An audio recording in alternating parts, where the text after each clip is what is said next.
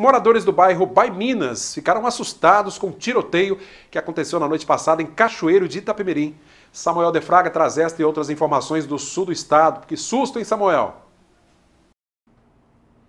Oi, Cláudio. Olha, é isso mesmo. O tiroteio começou por volta das 10 horas da noite. Segundo os moradores, o motivo seria a disputa pelo tráfico de drogas na região.